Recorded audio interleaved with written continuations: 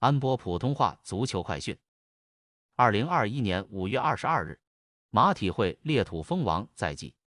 本周六深夜，西甲末轮同时进行七场较量，其中一场焦点肯定是马德里体育会与华拉杜列这场事关争冠与户籍交织的大戏。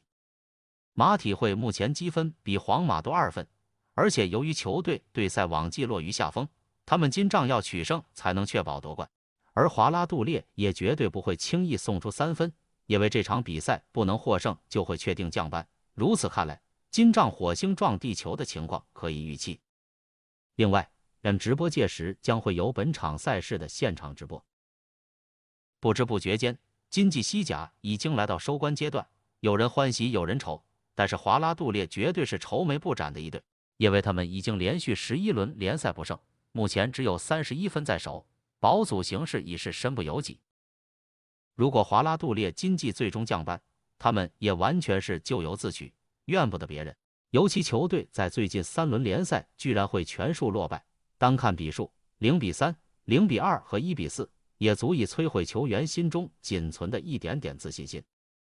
华拉杜列在此期间场均失三球的后防线也简直不堪一击，就连进攻方面也完全哑火。两位主力得分手奥利兰纳如今正在养伤，和维斯文居然颗粒无收。网计方面，华拉杜列对于马体会来说更加毫无威胁。双方近十一次交锋，华拉杜列只有一和十负的劣迹，而且最近四次对阵更加从未攻破对方大门。如今面对抢分心切的马体会，华拉杜列遭遇降班厄运，似乎已是天意不可违。就算是阵容方面，由于门将巨罗拔图和中场鲁宾艾卡拉斯皆遭遇停赛，加上后卫鲁尔加尼路和前锋哥特路皆因伤缺阵，与几乎是夫天出战的马体会相比，华拉杜列也存在先天的不足。自两千零一十二杠十三赛季至今，西甲都呈现出皇马、巴塞和马体会三分天下的格局，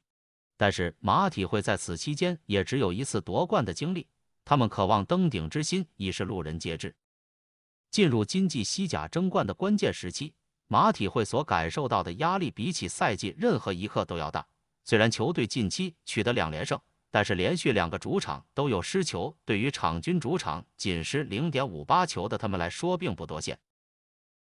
而且上账面对奥沙辛拿更加在比赛中率先失球，如果不是连拿洛迪和苏亚雷斯在最后十分钟左右的时间内先后建功力挽狂澜。球队如今甚至会失去争冠的主动权。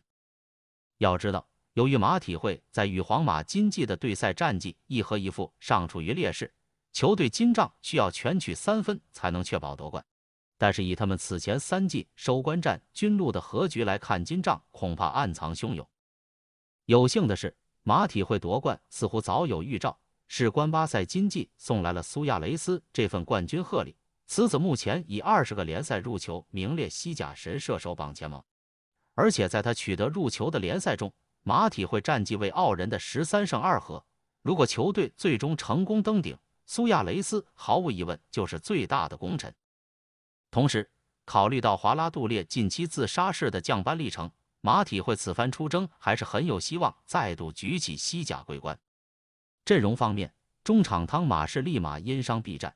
你正在收听的是安波普通话足球快讯，敬请订阅我们的频道。